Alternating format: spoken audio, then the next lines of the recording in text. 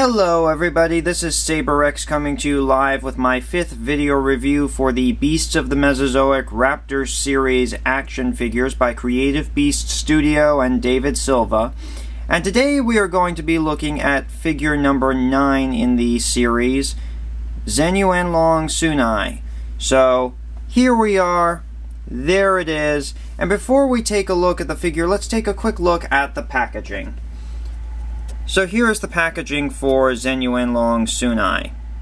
Very nicely done. This is the magnified illustration by Jonathan Kuo, as is universal for all the Raptor figures except for the um, artwork done for the Fan's Choice variants, which was done by Sarah Richards.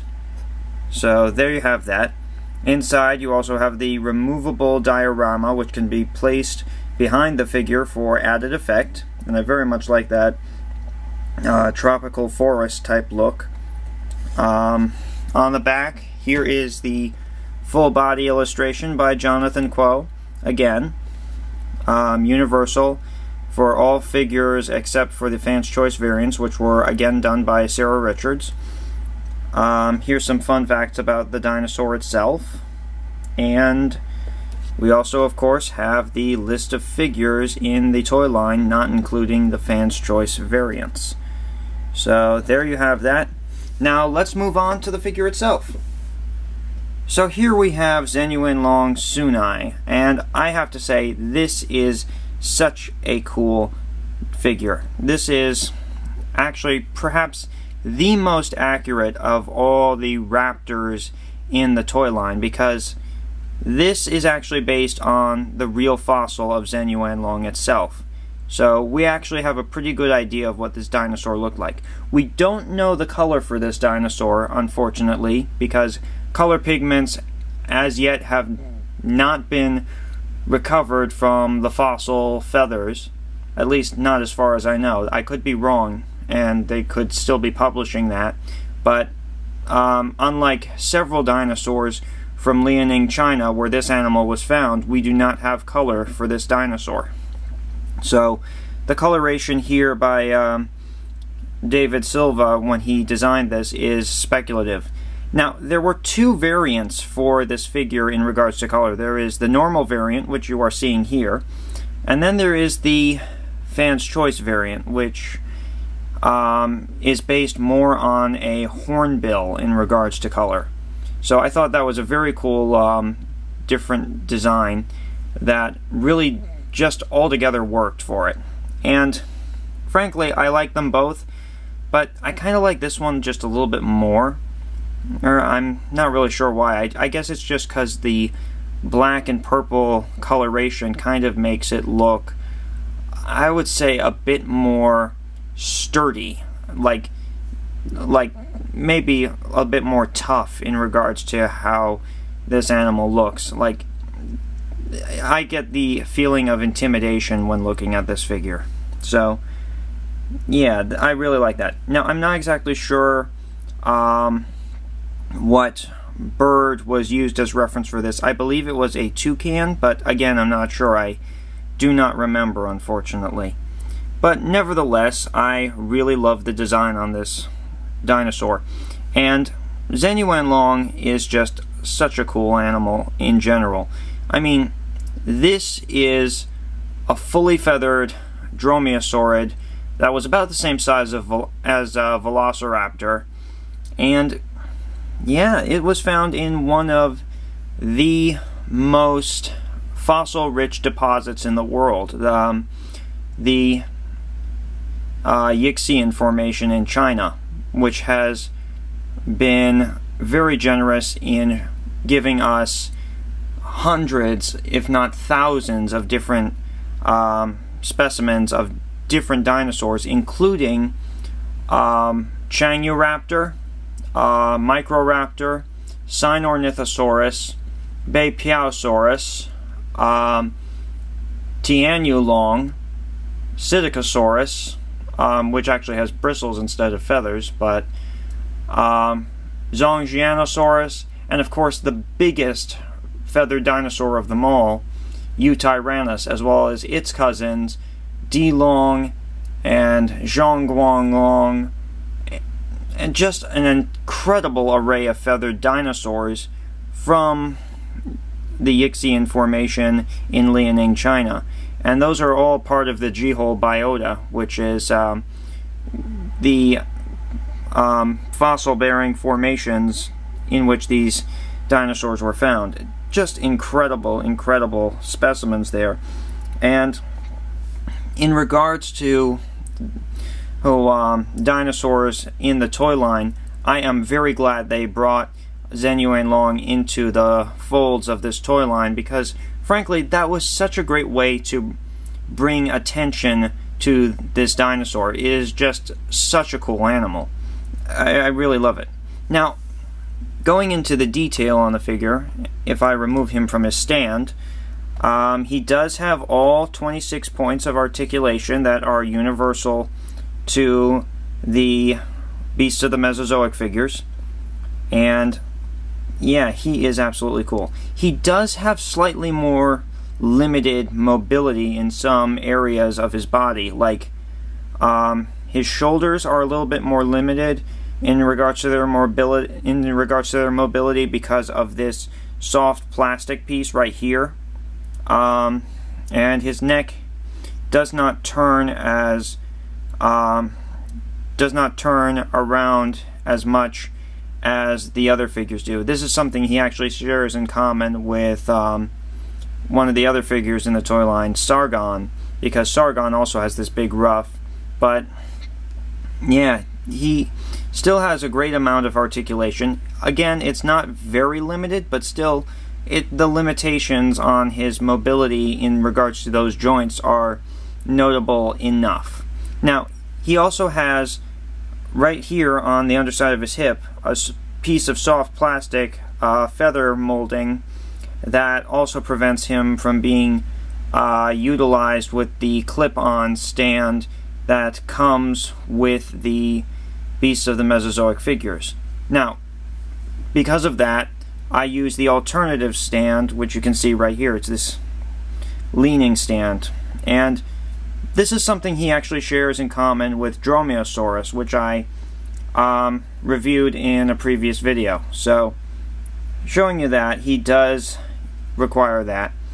Um, but yeah, once he leans on the stand, though, he is very, very much well balanced. Um, I would say he's actually better balanced than most of the other figures um, in general because of that.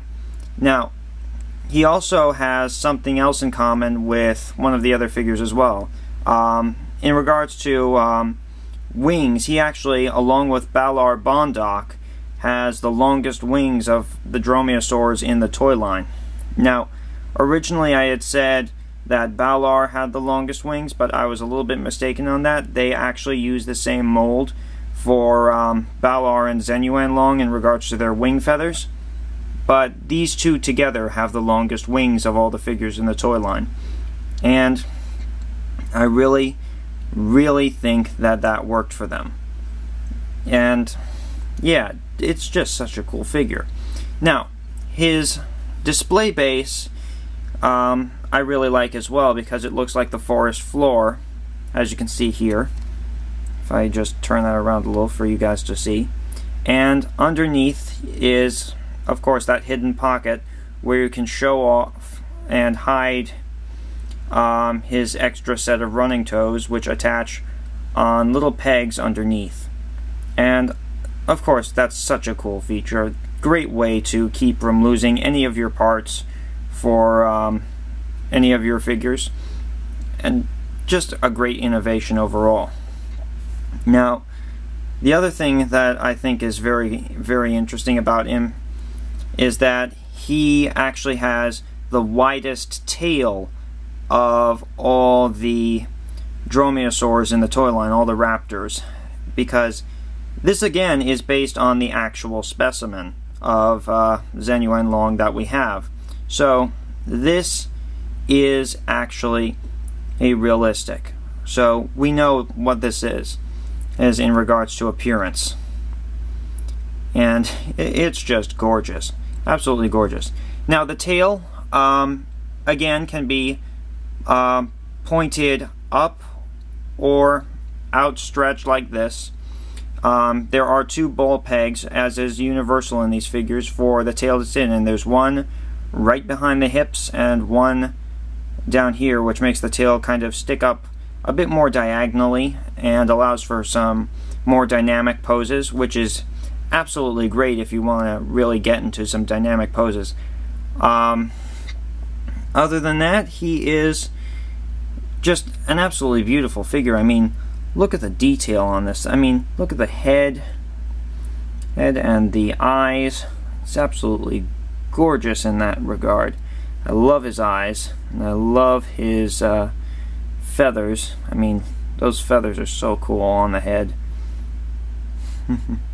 now, there is one thing I should also note in regards to this. This tail um, can be a little bit easy to pop off, so I wouldn't um, mess with it too much. Like just um, if you're gonna bend it at any points, make sure you have an extra hand back here near the base, so that way it doesn't pop off on its own. It's it's on a ball joint, so um, you don't have to worry about it breaking. But um, that tail does actually pop off re relatively easy, or at least it does in mine. So just fair warning for you guys who might be interested in getting this figure. Um, when you pose the tail, because it does have the wire in it, um, don't uh, just bend it with one hand. Make sure you have an extra hand or an extra couple fingers um, back here where it attaches so that it doesn't pop off. So, yeah, moving on. Zhen Yuanlong is just such a cool dinosaur in regards to this toy line, and I'm very glad that they, um, yeah, I'm very, very glad that they put this figure in the lineup. It's just a gorgeous thing. It really is. Now, size comparison and wise, he is, I would say, maybe intermediate in size between uh, some of the larger ones and some of the smaller ones. He is a little bit taller than most of these figures um, that are his brethren in the toy line. And I will show you that right now. So here he is with Dromaeosaurus, the other raptor who utilizes the leaning stand as opposed to the um, clip-on stand. And comparing them side by side, um, Zhen Yuanlong is actually a little bit taller at the hips than Dromaeosaurus, and at the same time, Dromaeosaurus is slightly longer than uh, Zhen Yuanlong. Um, again, yeah, at the same time, Zhen Yuanlong has the longest wings, so that's uh, definitely worth noting in there. Now, here he is with uh, Balaur bondoc, his fellow mold mate, if you will, in regards to their wing feathers, because they do have the same wing feather mold. And, yeah, he actually is a little bit longer than Balar, and, and of course he's also taller. So, definitely noticeable difference. I do like how their colors complement each other, though. That is very nice. Um, yeah, but here he is with um, Atrociraptor. A Trosiraptor is a little bit longer, definitely not as tall at the hips, um, but you can definitely see the difference. Um, yeah, definitely Zhen Yuanlong is a little bit taller than this guy. And because of that ruff of feathers around the shoulders, he does look a little bit bulkier as well. And of course, he's got way longer, way longer wings. And last but not least, here he is compared to Velociraptor. Now, Velociraptor is definitely longer than Zhen Yuanlong, and um, yeah, he's slightly shorter than Zhen Yuanlong at the hip, but not by much. But again, the, the comparisons between them are just altogether plain to see. And yeah, I really like how he compares to them all.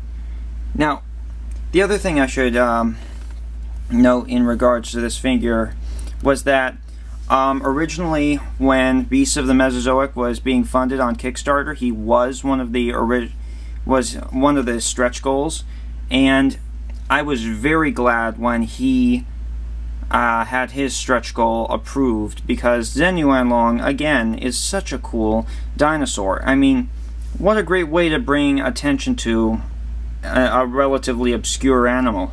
I mean, just gorgeous. And of course, the fan's choice variant also helped with that as well. So you get to have two color variants of this if that's what you want.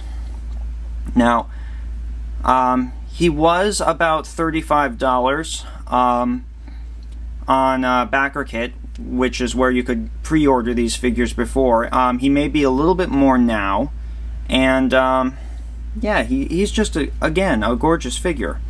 And yeah, I'm very glad to say I got him, and I highly recommend him for anyone who wants this figure because this is an absolutely unique animal and an absolutely unique toy.